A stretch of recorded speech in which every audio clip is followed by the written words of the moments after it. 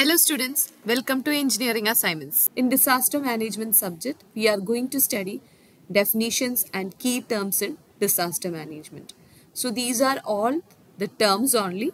The later things we will study in the coming chapters. Now let us discuss the definition of disaster. Disaster is basically formed by two words that is dis plus asterisk. Dis means bad, asterisk means star. So which becomes bad star. Bad star is something that brings bad luck. So disaster is named after this.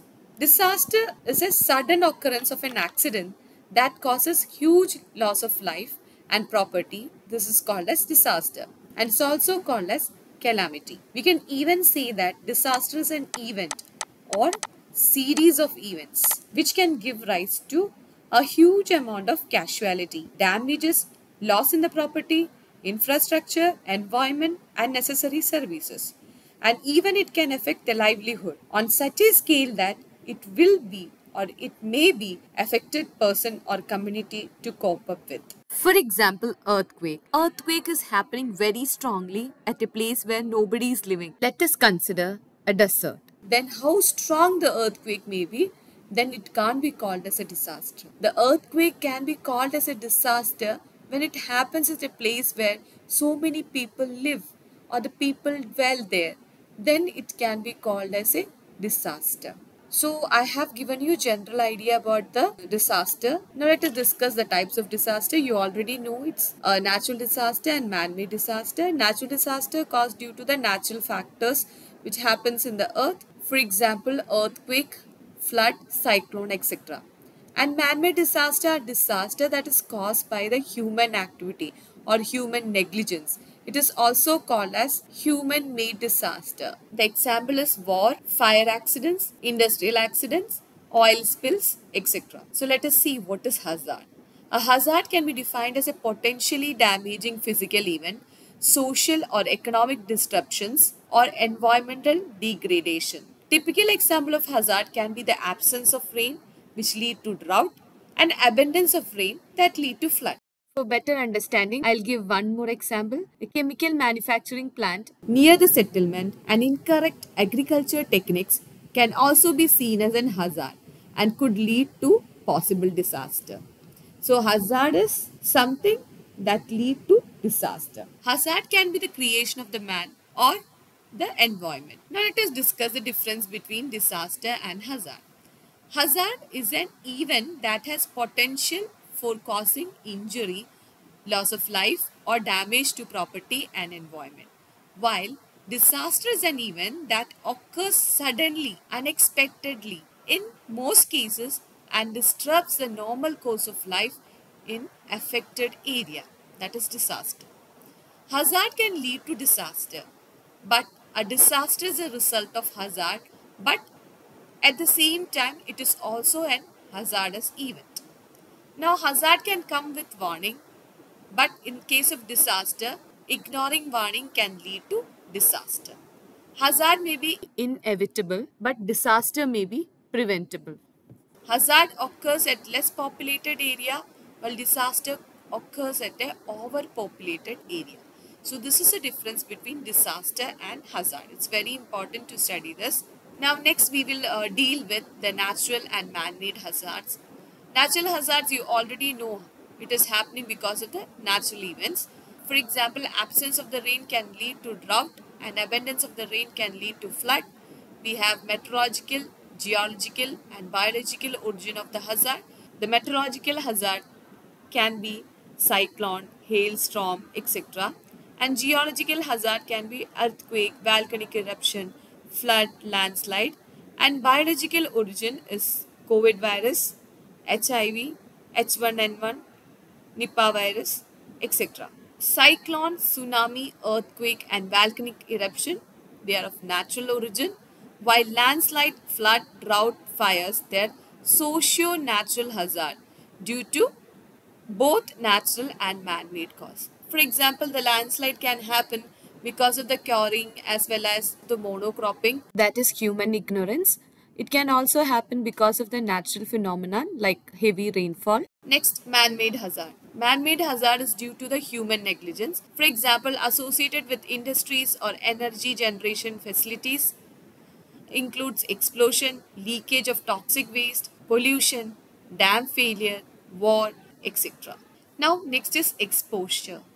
It is a situation of the people, infrastructure, housing, production capabilities, and other tangible human asset located in a hazard prone area. The measure of exposure can include the number of people or type of assets in that area. For example, the houses and the people close to earthquake zone or at epicenter, they are more exposed to earthquake than the people staying away from there. Next is vulnerability. Vulnerability refers to the characteristics and circumstances of a community system or asset that makes it susceptible to the damaging effect of the hazard. For example, people who live on the plains are more vulnerable to flood than the people who live higher up. There are many aspects of vulnerability arising from various physical, social, economic and environmental factors. Examples may include poor design and construction of the building, inadequate protection of assets, lack of public information and awareness, limited official recognition of the risk and preparedness measures. So these all lead to vulnerability. Next is risk is a measure of expected loss due to hazard occurring in a given area over a specific time period. It is actually the probability of loss or amount of loss that will occur in a community, society or system in any disaster. And the risk will depend upon the nature of the hazard. It considers the probability of harmful consequences or expected losses resulting from a hazard. So the risk is uh, defined as a probability of hazard into degree of vulnerability. So you can see this diagram. This diagram shows a relationship between hazard, vulnerability, risk and disaster. So it shows that disaster is actually interaction between the hazard and vulnerability leading to risk. And if the effective risk management is provided, then it will be possible to prevent and mitigate the impact of disaster. So let me give you the clear-cut example of risk. So consider a situation, there's a settlement consisting of 800 to 1000 houses and 10,000 population. Also public and private properties are there in the settlement. Consider a situation where a disaster happens in the settlement. Let it be an earthquake of 8 magnitude.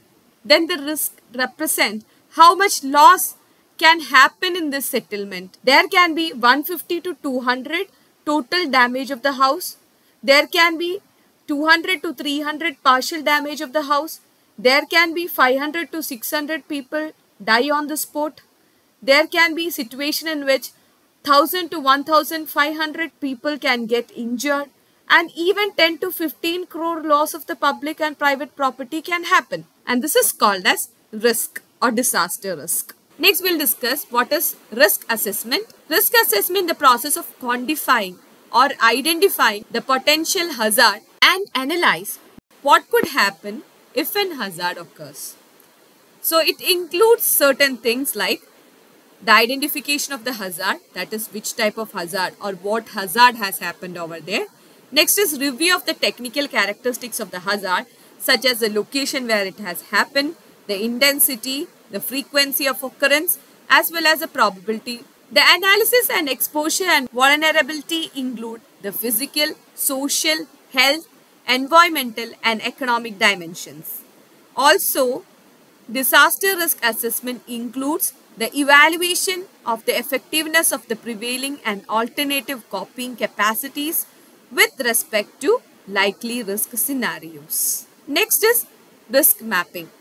Risk mapping is a process of analyzing the hazard, vulnerability and the capacity through a scientific methodology. And it is basically based on the risk assessment and there is two components of this. One is risk analysis, another one is risk evaluation. Risk analysis is the use of available information to estimate the risk caused by the hazard to individual and population.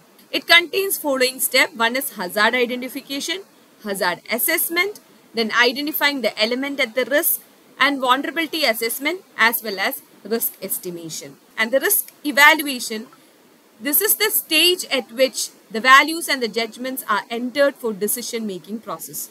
It includes all the result of risk associated with social, economic and environmental. Next term is capacity. Capacity is a part of preparedness to face the disaster. Suppose a disaster happens at a place, then how much resources are available to cope up with or face the challenges of the disaster is called as capacity. So capacity basically refers to all the strengths, attributes and resources available within a community, organization or society to manage and reduce the disaster risk and strengthen resilience. Resilience means returning to normal stage after the disaster. It's an important to emphasize people capacity to anticipate, cope with, resist and recover from the disaster rather than simply focusing on the vulnerability that limit them.